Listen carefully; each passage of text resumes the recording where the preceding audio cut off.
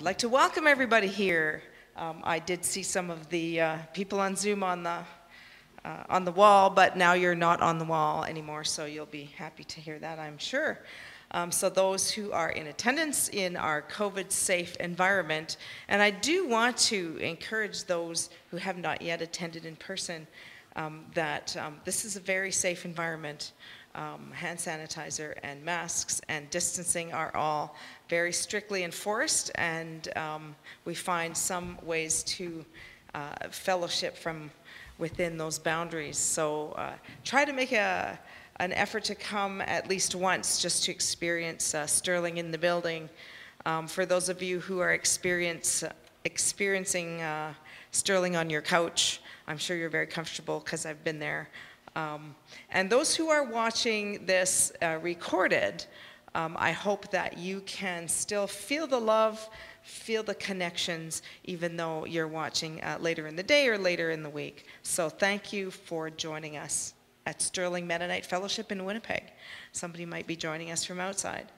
Um, I would like to invite those of you at home with the candle uh, to light it, and I will light the peace lamp that we traditionally light uh, every Sunday morning. May the peace of Christ be with you.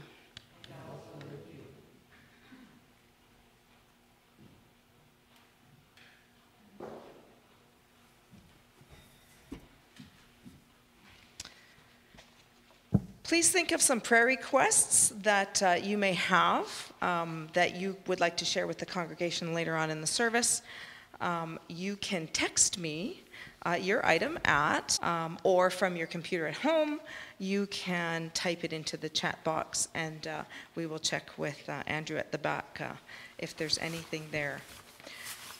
To prepare our hearts this morning, I'm reading, and those of you who have a bulletin can follow along uh, from Matthew 22, verses 36 to 40. Teacher, which is the greatest commandment in the law? Jesus replied, Love the Lord your God with all your heart, and with all your soul, and with all your mind. This is the first and greatest commandment. And the second is like it love your neighbor as yourself. All the law and the prophets hang on these two commandments. Shall we pray? O God, you withdraw from our sight that you may be known by our love. Help us to enter the cloud where you are hidden and surrender all our certainty to the darkness of faith in Jesus Christ. Amen. This morning we have recorded music, um, so you can close your eyes, uh, relax back in your easy chairs, and uh, enjoy the music and focus on how the music is moving you and the lyrics and what the lyrics uh, are meaning for you and connecting to our worship this morning.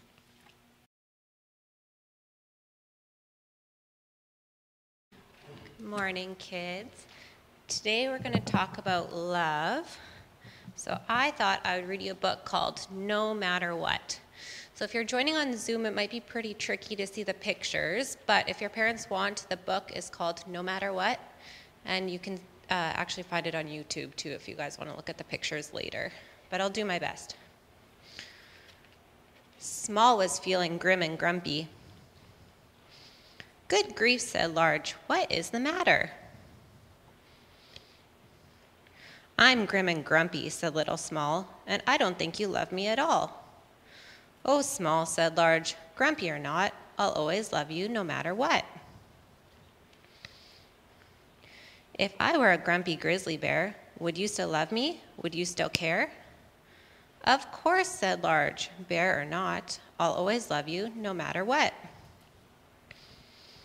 But what if I turn into a squishy bug? Would you still love me and give me a hug? Of course, said Large, bug or not, I'd always love you no matter what. No matter what, said Small with a smile. What if I were a crocodile? I'd still hold you close and snug and tight and tuck you up in bed each night. But does love wear out? Does it break or bend? Can you fix it or patch it? Does it mend? With time together, a smile and a kiss, Love can be mended with things like this. But what about when you're far away? Does your love go too, or does it stay? Look up at the stars, they're far, far away, but their light reaches us at the end of each day. It's like that with love. We may be close, we may be far, but our love still surrounds us wherever we are. So, we're going to talk about love today, and what Jesus tells us is to love God and to love each other. Um, our friends and the people around us might not turn into crocodiles or squishy bugs or grizzly bears, but sometimes people are grumpy or maybe they're not very nice to us. So, um, no matter what, we should still love them because that's what Jesus says, even if it's hard. Thanks, kids.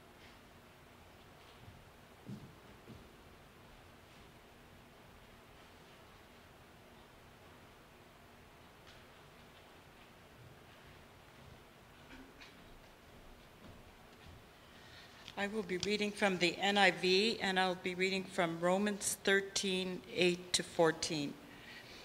Let no debt remain outstanding except the continuing debt to love one another. For he who loves his fellow man has fulfilled the law. The, com- the commandments do not commit adultery, do not murder, do not steal, do not covet, and whatever other commandment there may be are summed up in one in this one rule love your neighbor as yourself. Love does no harm to its neighbor, therefore, love is fulfillment of the law. And do this, understanding the present time, the hour has come for you to wake up from your slumber, because our salvation is nearer now than when we first believed. The night is nearly over, the day is almost here. So let us put aside the deeds of darkness and put on the armors of light. Let us behave decently as in the daytime, not in orgies or drunkenness, not in sexual immorality or debauchery, not in dissension or jealousy. Rather, clothe yourselves with the Lord Jesus Christ and do not think about how to gratify the desires of the sinful nature. The word of the Lord.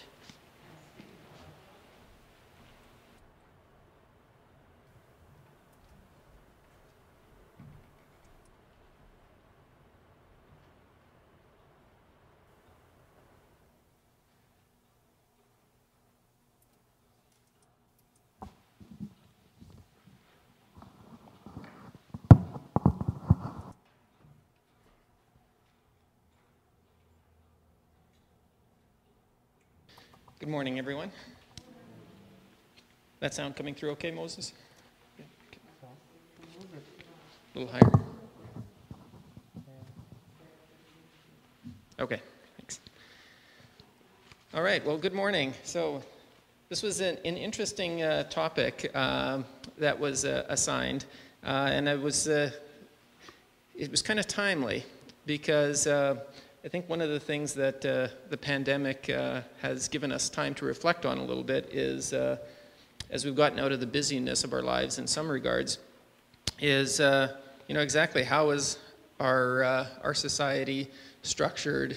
Uh, what are the laws, norms, rituals that we have just kind of been following without necessarily having a chance to really think about them? And so this this topic of the God's law and what is really important uh, is kind of interesting. So, what I want to talk about today is just dig a little bit into that passage uh, that's on the front of your bulletin from Matthew, um, and then uh, talk a little bit about uh, uh, how we, see that reflected in our society today, and, and maybe some ways that we can think about uh, bridging the divide where it, where it does exist. So the things that I've kind of been interested to follow as uh, the pandemic has progressed is uh, it, it, certainly has exposed some of the uh, shortcomings of, of our society. Um, I think there's been a, a, record amount of drug overdoses uh, and suicides in most major cities, uh, at least in Canada, and I think in parts of the U.S. as well. Uh, there's certainly been a sharp increase in violence in a lot of urban settings as well. Uh, and, and, obviously a lot of, uh, lot of anger and frustration out there. Uh, coming out in, in, in political uh, confrontations, but uh, seems to be more to it than just that. There's also been a lot of positives that I think we've seen, uh, which are also very interesting to reflect on. Um, I think one of the ones that really struck me was there's been a, a dramatic decline in the amount of premature births. So uh, uh, more babies are being born at, at full term versus being born uh, premature. That, that's interesting. Um, I think we're going to see uh, decades of interesting benefits from the fact that this group of teenagers had a chance to sleep. Uh, and and it will be interesting to see how that imparts on their uh, their brain development and uh, and their their physical development as well. So there there are some some very interesting things. It'll be years and years of research opportunities coming out of this out of this pandemic, um, and it, but it gives us good chance to reflect on. Uh, what we what we're going to talk about is the laws, and I think we can talk about laws as not just the hard-coded uh, written rules, but also just the underlying norms of a society uh, at any given time. Um, and one of the things I'll talk about uh, to, today is uh, there's kind of the underlying, uh, the foundational truths, and then all laws thereafter are built on that, and then usually some norms and rituals are built on top of that. And that's kind of what we're getting at with the uh, passage that, that Margaret read, is there's those foundational truths, and then all the other ones uh, kind of are built back on that. You can trace them back to that. Uh, and Jesus was very clear when he was being tested uh, by the Pharisee, who was an expert in the law, when he asked that question what is the greatest uh, commandment in the law? And the response, I think, is, is, uh, is very interesting because the first word in the response is love. Um, and the, the, then the second part is about the heart, the soul, and the mind. And I find it interesting that uh, all three of those are, are detailed out um, because I think it reflects the fact that part of our human nature is we are often unreconciled internally. And uh, this, this, this seems to indicate that one of the things we need to do first is find that inner, reconcile, inner peace, being reconciled, uh, body and mind. There's a passage in uh, Romans 7 that I think speaks to this as well. This is uh, Romans 7:21, and I'm reading from the, the Holy Version. Uh, so I find this law at work. Although I want to do good, evil is right there with me. For in my inner being I delight in God's law. But I see another law at work in me, waging war against the law of my mind and making me a prisoner of the law of sin and work within me. What a wretched man am I! Who will rescue me from this body that is subject to death? Thanks be to God who delivers me through Jesus Christ our Lord. So I think that's, that's a good, honest admission by Paul of uh, we may know something, this is really the right way to do it, and yet we uh, have, have a hard time uh, getting our whole body and mind and soul aligned on following that. And, and that's, uh, that's one of the reasons why I think the love part of that first commandment is important. Um, because it's very difficult for us to accept the submission to God's uh, will and, and direction uh, without loving the result of doing so. So, for, for us to be at peace um, with following God's law, we have to love God. It, it's not just about, okay, these are the rules and work really hard to follow each of these rules. It has to feel fulfilling uh, to have done that submission uh, and to have embraced uh, God's law in that way. So that's a very good foundation because it first means if, if we're going to build this code of laws, first bring inner peace to yourself. Uh, first bring submission to something greater than yourself. And when you do that, the other laws become a little bit easier uh, to follow. The, the second one is uh, that he follows up with again, the first word is love. Uh, so it's, that's a clue that it's probably important. Uh, and uh, then it's a focus on the other, the neighbor. Um, and that's, that's pretty important as well. In, uh, and it came out in the passage that, that Margaret read about how important it is to fulfill that debt of love for others uh, and it really challenges us. And in, in that sense, there is an element of duty.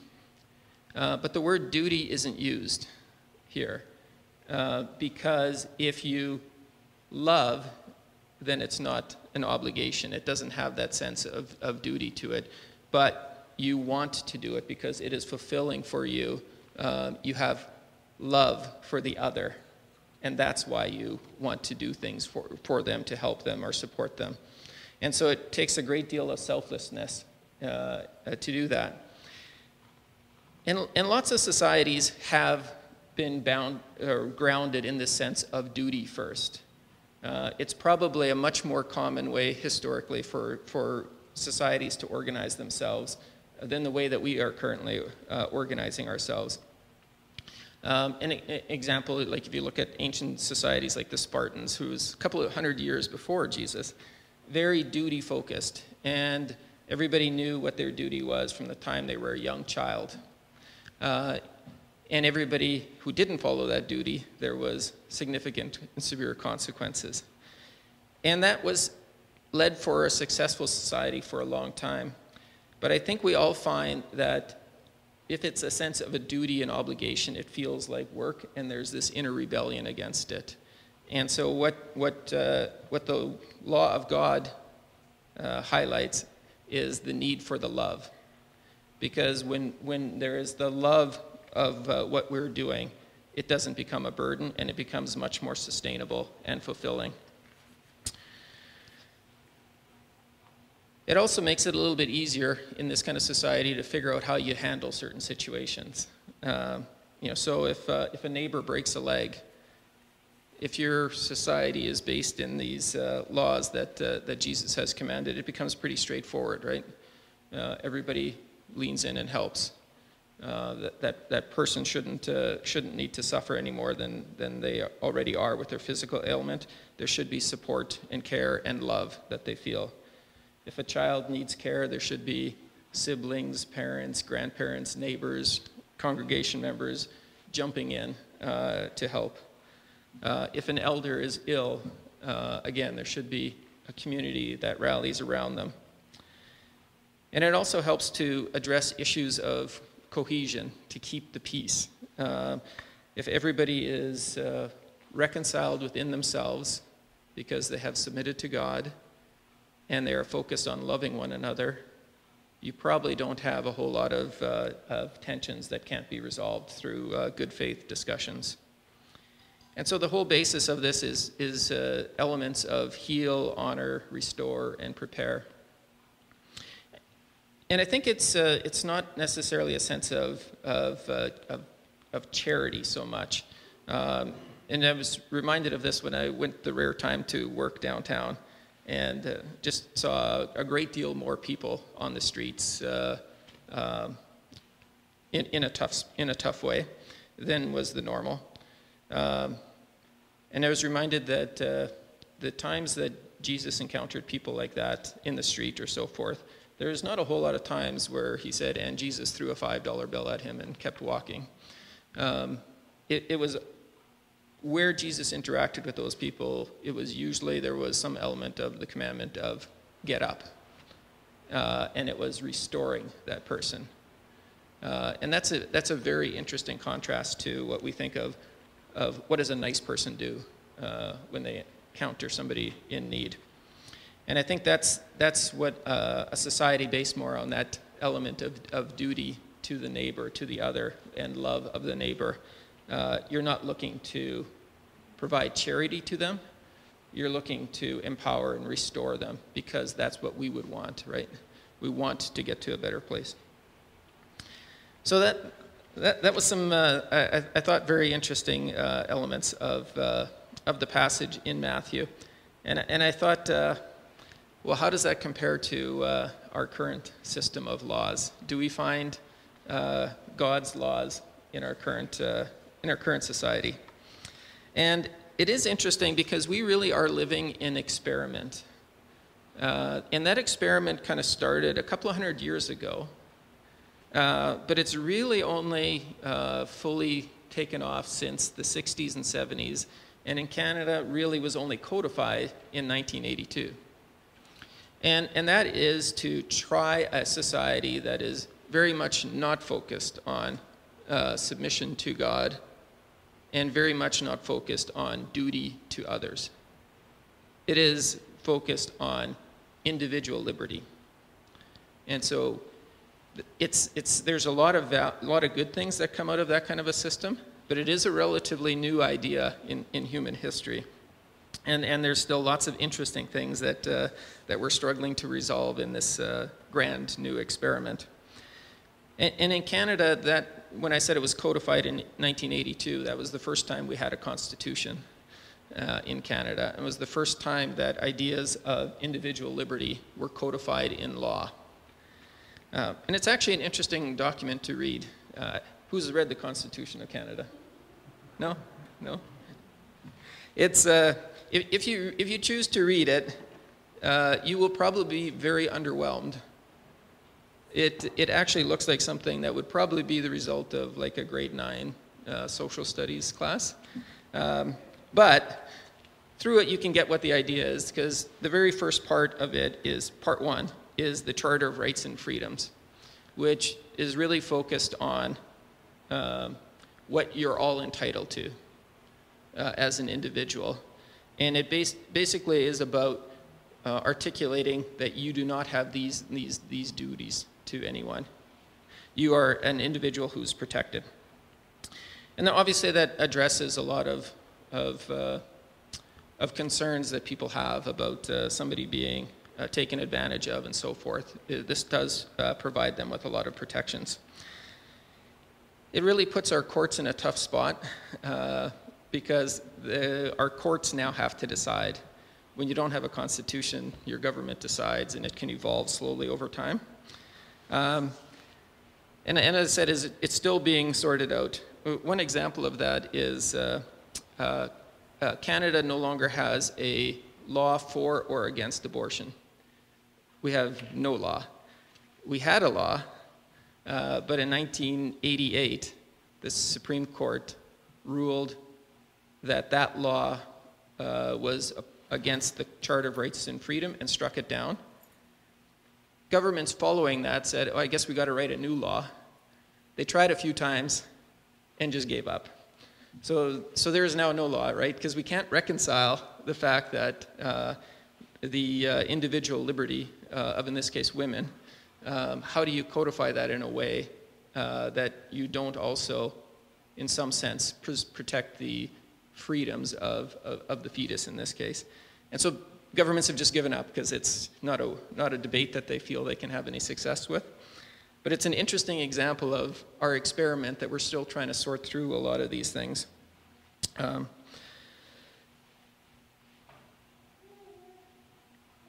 there's other challenges there. So I gave some of those examples of a society that's more based on duty. How do they handle uh, certain situations?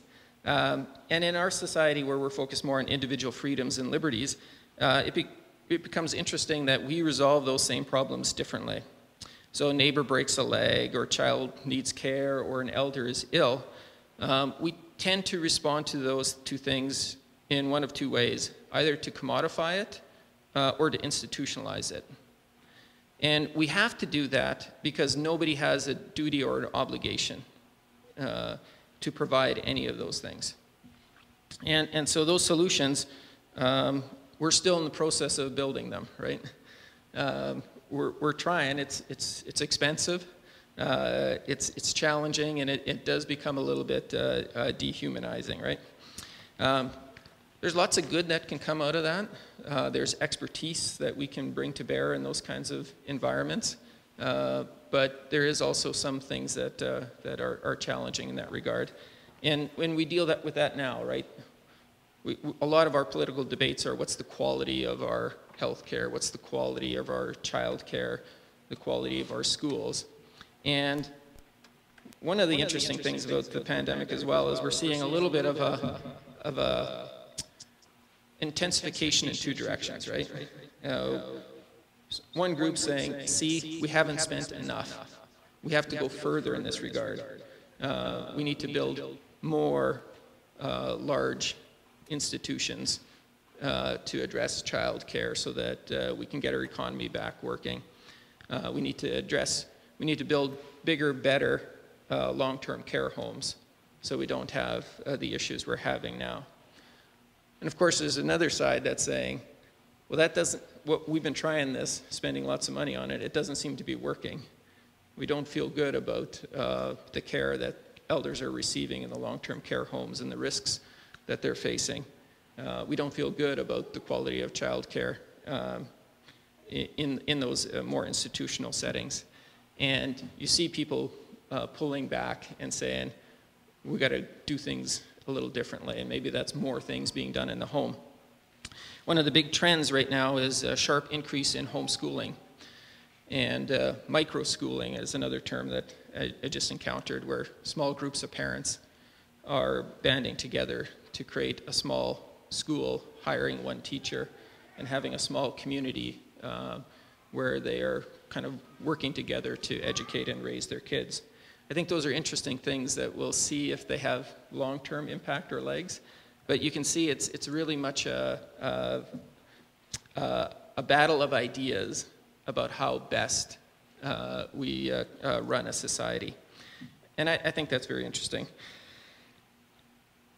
I, I think the, um, the, uh, the experiment that we're under uh, has also uh, revealed some unexpected concerns.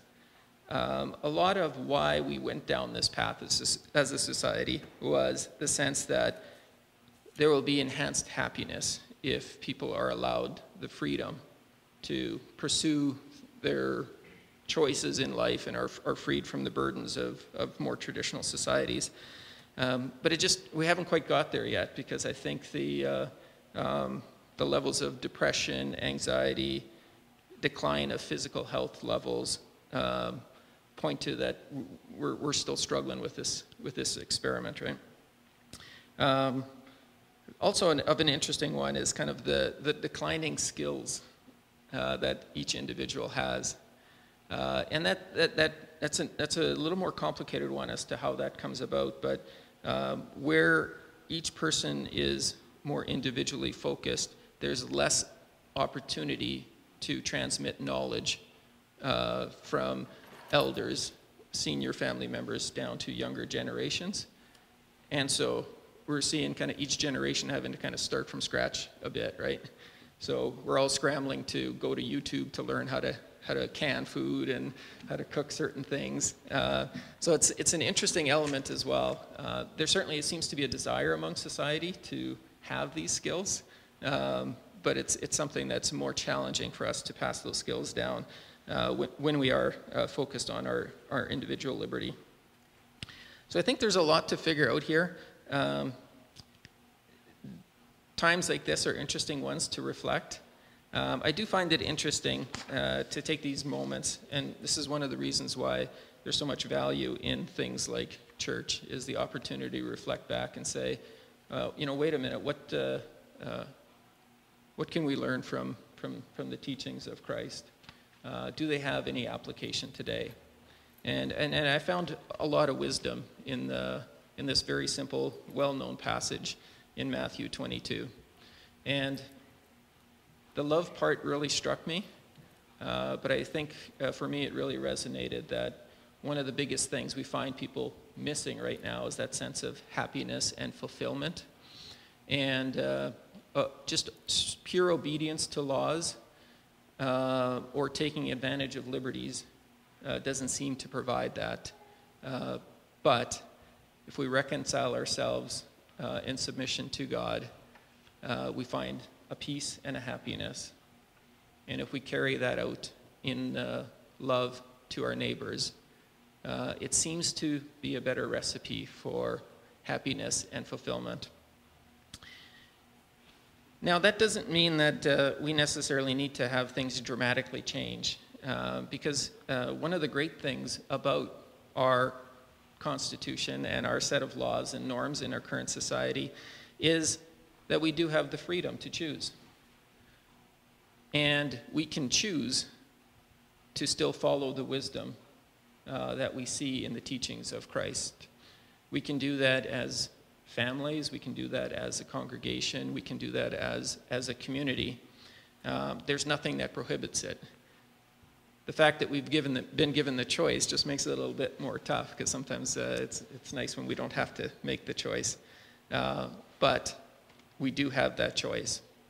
and so that's one thing that I think is uh, uh, something I take away from this, and it's been very thought provoking for me.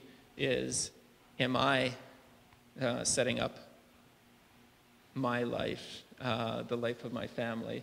Am, am, I living it according to these uh, these two commandments uh, that that Jesus shared for me? Um, I think I'm on the right side of the law with our Constitution for the most part, uh, but that's probably less important than being on the right side of, uh, of the teachings of Christ. So I'll, fi- I'll finish there um, because uh, uh that's all I got, um, but also because uh, I think that's enough to, uh, to digest in, in, in one moment. so thanks for the opportunity to uh, address this community. It's great to be able to interact uh, a little bit in person and also virtually. Uh, and certainly this is an idea uh, that we'll, uh, I'll probably keep thinking about for quite a while. So if there's anybody that has any countering ideas or would like to talk about it further, I'd certainly uh, be very open to that. Thanks very much.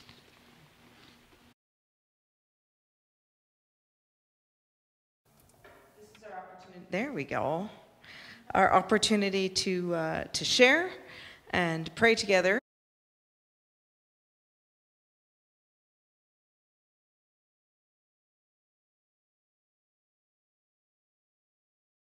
Amen.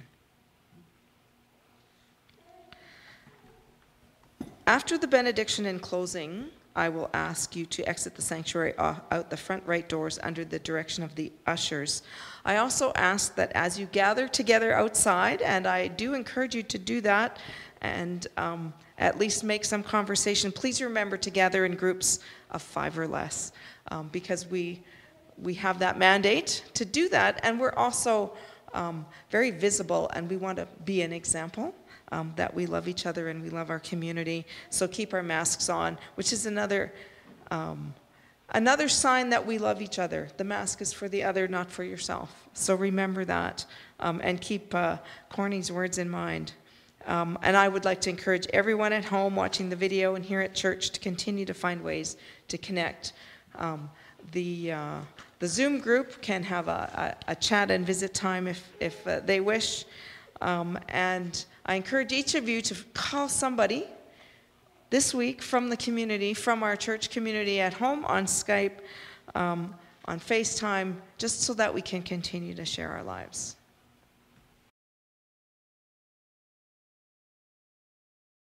Let my cry reach the ears of the Lord. Let's rise for the benediction. Those at home can stay seated. Go in love, for love endures. Go in peace, for it is the gift of God. Go in safety, for we cannot go where God is not. Amen.